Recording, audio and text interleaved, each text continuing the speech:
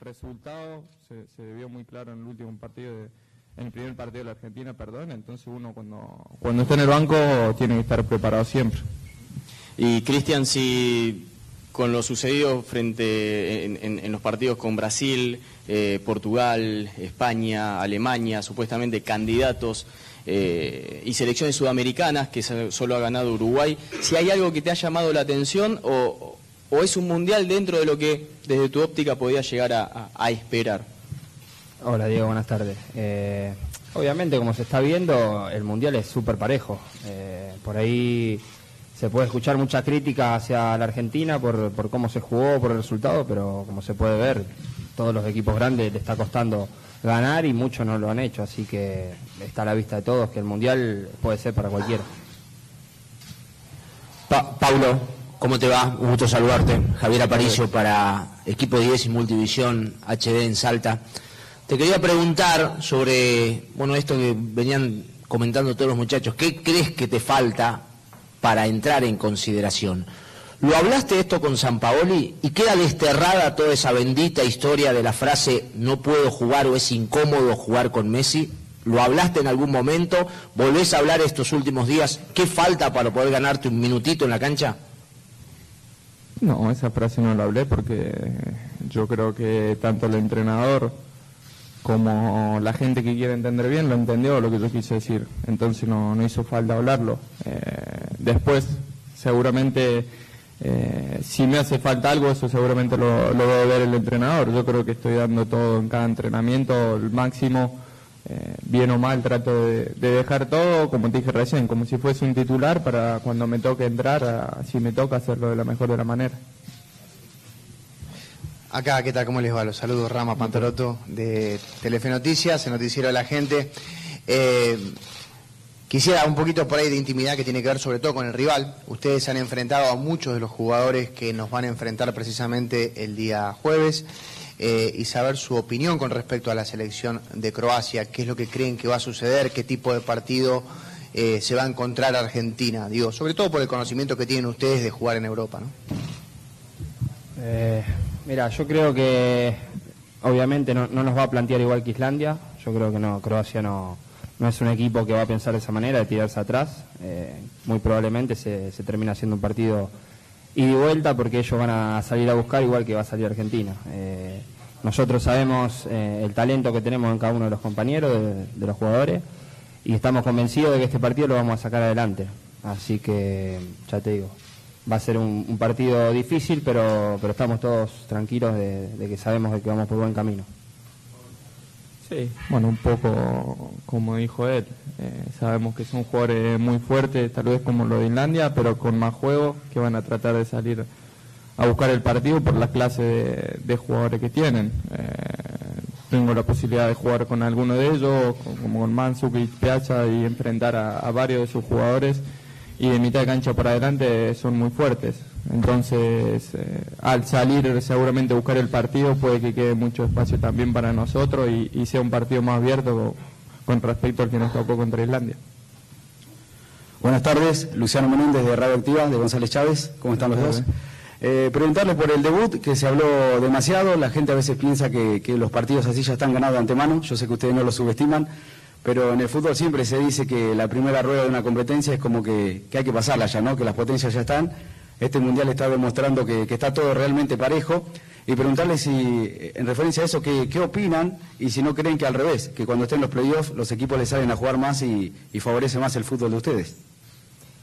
Como te dije recién, eh, el Mundial este está demostrando que no hay que subestimar a, ningún equipo. Eh, hay que salir siempre concentrados y, y con el objetivo claro. Argentina eh, siempre vamos a estar cada uno de nosotros luchando para, ganar, nunca vamos a salir a empatar o a, perder un partido, al contrario, tenemos que buscar siempre ganar, que es nuestro objetivo, es lo que hemos venido acá, a disfrutar como lo estamos haciendo y, a mantener el, equipo como lo estamos manteniendo. Estamos teniendo, la verdad, un, equipo muy unido, un grupo bárbaro y realmente nosotros lo estamos disfrutando ojalá que todo esto que estamos logrando fuera de la cancha lo podamos también conseguir dentro de la cancha. Sí, bueno, un poco como dijo él también, ¿no? tampoco hay que subestimar a, ningún equipo, se vio y se está viendo en cada partido. Eh, todos los, los países que todo el mundo pensaba que, iban a ganar fáciles se les complicó con cada rival. Eh, a todos les costó exprimir su juego, sus ideas, porque bueno, los rivales también trataban de hacer su partido, entonces eh, no fue fácil y no va a ser fácil para ninguno. Eh, los primeros partidos también siempre son complicados, como todo, entonces hay que trabajar y, dar todo en cada entrenamiento porque todos los países juegan bien y tratan de llevar a cabo sus ideas. Cristian y Paulo, buenas tardes. Estamos en vivo por Radio Mitre. La pregunta para Cristian es por la línea de 5 defensiva. ¿Cuánto cambia para un defensor tener a dos laterales volantes a los costados y una línea de tres prácticamente delante del arquero? La consulta para vos, Cristian. Obviamente que, como te dije también en la pregunta anterior, eh, tenemos eh, jugadores muy, muy buenos, muy muy técnicos todos, eh, y yo creo que la gran mayoría de los que juega por afuera puede hacer el trabajo tanto de defender como de atacar también. Yo creo que ese fue también un poco el, pensamiento del técnico, saber de que, de que vamos a salir a contragolpear a un equipo que, nos va a venir a buscar y, tenemos que saber hacer bien los dos roles. Eh, recién, buenas tardes. Eh. recién estaban haciendo algunas consideraciones sobre el esquema táctico que van a tener más espacios que naturalmente tuvieron contra Islandia. Es un partido para ir a presionarlo bien arriba por las características de los jugadores rivales. Eh, eso para los dos. Y si hablaste con Mansukic, que ya acaba de decir que los cuando tiene rivales enfrente no los conoce, se olvida. Sí, bueno, Mansukic tiene una, una forma de ser medio particular, porque parece y da una imagen de ser malo, de ser agresivo, pero bueno, después eh, puerta para adentro es, una gran persona, es muy, muy humilde, muy trabajador y tengo muy buena relación con él. Pero adentro de la cancha es otro, eh, es otro, no tiene respeto para nadie en el buen sentido, eh, no le importa quién, quién está enfrente como dijo él y, creo que casi todos los, los croatos, sus compañeros también son así. Entonces, con respecto a la presión, hemos visto que bueno, que son más allá de que muchas veces Rakitic baja a jugar, es un jugador que, lanza mucho, entonces eh, teniendo Mansukic y jugadores altos arriba, en la altura hay que, hay que estar atento porque son fuertes, tanto él como sus compañeros. Eh, y a la hora de jugar aprovechar también los espacios porque obviamente atacan mucho al tener buenos jugadores, entonces eso también se le va a hacer fácil, no, se nos va a hacer fácil a nosotros a, la hora de jugar y tratar de, de mantener nuestro juego. Cristian. Mira, un poco con respecto a tu pregunta, la verdad no, no te podría decir cómo le vamos a jugar porque eso a medida que se vaya, vayan corriendo los minutos eh, nos vamos a ir acomodando de a poco dentro de la cancha. Eh, yo lo que sí te puedo decir es que vamos a seguir con nuestro objetivo, que es jugar en todo momento al fútbol, no perder eh, eso que es lo que realmente nos hace ser Argentina, ¿no es cierto? No vamos a estar pensando en, tirarla para arriba y en, y en ir a buscar la segunda jugada, al contrario, nosotros tenemos que hacer el fútbol nuestro, que es jugar todo tiempo por abajo y, siempre atacando, que es lo que intentamos. Pablo, apelando a tu sinceridad, lo hiciste también en esa frase tan famosa que te repiten todo el tiempo, que creo que se entendió y que era un concepto de juego. Te quiero preguntar por el pasado reciente y, por el futuro inmediato. Si pensaste o tuviste miedo de quedarte afuera del Mundial cuando en la última gira no estuviste convocado, y si ahora, pese a tu talento y por estas circunstancias del juego que te, describía recién un colega, si sentís que corres muy atrás. No, nunca tuve miedo de quedar afuera del Mundial. Siempre creí en mí, en que estaba haciendo las cosas bien en mi equipo para estar. Obviamente que se habló mucho sobre mi presencia eh, o no en el Mundial y bueno, yo a mi familia, a mis amigos siempre le transmití la máxima de la seguridad en mi confianza de poder estar por el trabajo que estaba haciendo. Y después no, pienso que, tengo toda la posibilidad, la misma posibilidad que tienen todos mis compañeros. Después obviamente el entrenador es el que decide y el que ve eh, durante los partidos cuáles son los jugadores que le pueden llegar a, servir más. A servir más depende del rival que, esté adelante. Entonces, como dije hace una pregunta atrás, trato de entrenar y dar el máximo siempre para, para estar disponible cuando me toque. Aquí, Claudio Giglioni de LT3 de, Rosario. ¿Qué tal, Cristian? Eh, una pregunta para los dos. Eh, los equipos cuando se afianzan se pueden permitir de jugar de maneras distintas y hasta manejan esas opciones de acuerdo a los rivales. Argentina está jugando muy seguido de manera distinta, pero no como opción ante las circunstancias, sino como búsqueda de la solución.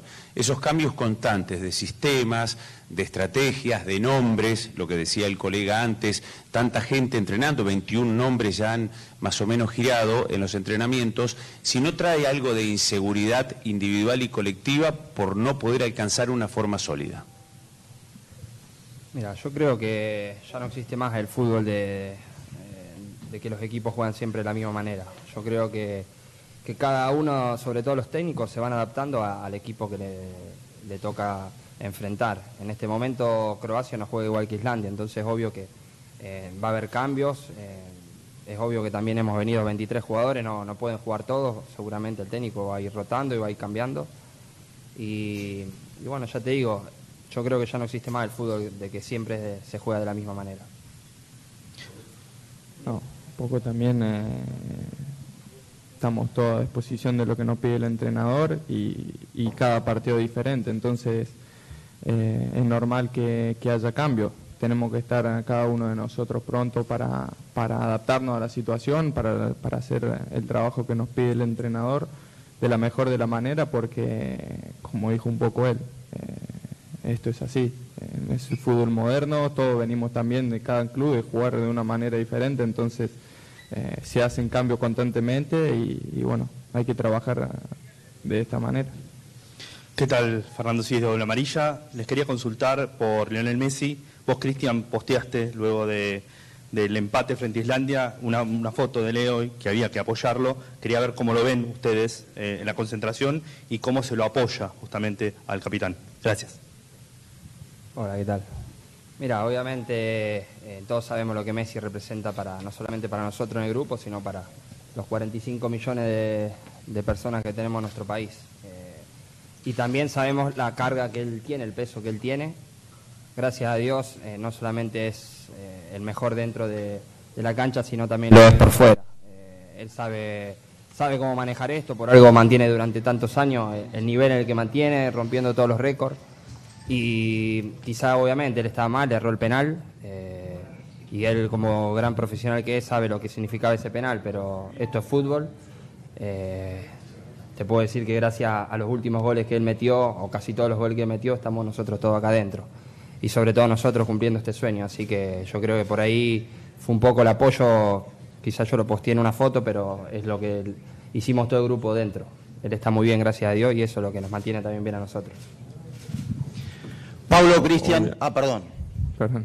Obviamente que, estamos todos con él, no hace falta decirlo. Eh, que haya errado un penal no significa nada porque ahora obviamente que es el primero que quiere revertir esta situación y, sabe que cuenta con el apoyo de todos nosotros más que nunca.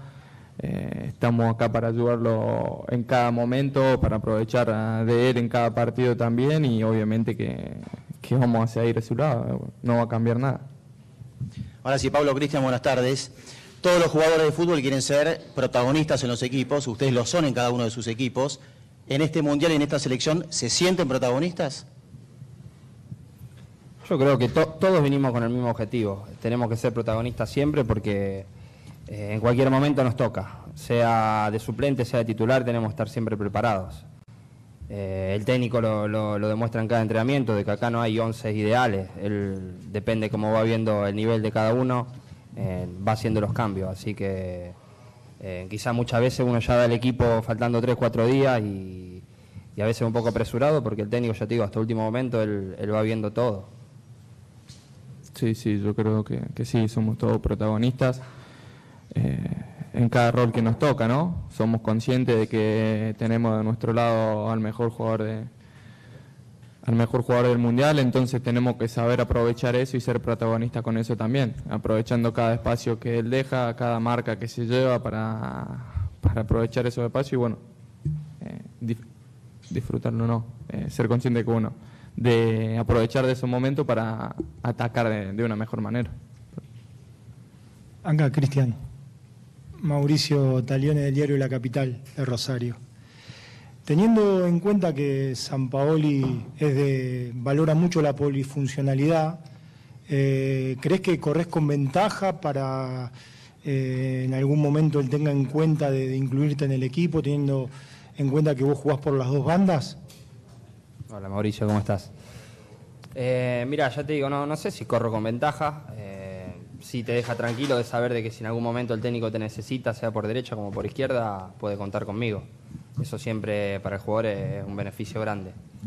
Eh, ya te digo, estoy entrenando a la par de todos mis compañeros y dando siempre el máximo para tratar de, jugar y, apoyar desde adentro también al seleccionado. Así que bueno, ya te digo, estamos trabajando. No, no me siento que corro con ventaja sobre nadie, simplemente me siento uno más de, de todos los que estamos aquí porque todos tienen un alto nivel.